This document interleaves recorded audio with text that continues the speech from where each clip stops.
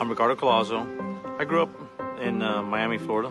I'm an aircraft mechanic for Allegiant. I've been here four years.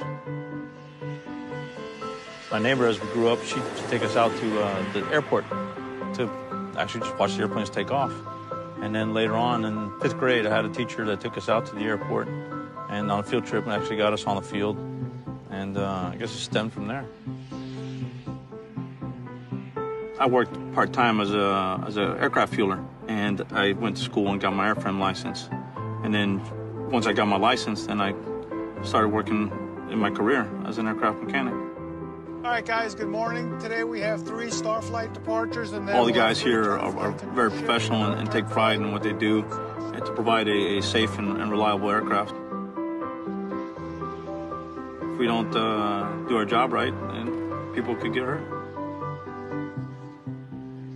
As Allegiant grows, we're going to need more talented men and women to uh, join our team. When you go to a major, you're going to be stuck on nights for a long time. Uh, working for Allegiant, you have the opportunity to work different shifts.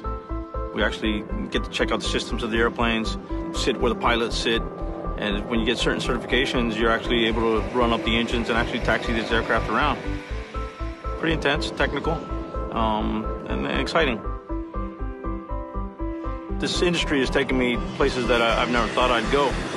This is really important to me. It gives me satisfaction in providing a, a safe, reliable aircraft. Our, my friends and, and families fly these airplanes. It's been a great career for me. Apply. Come on out.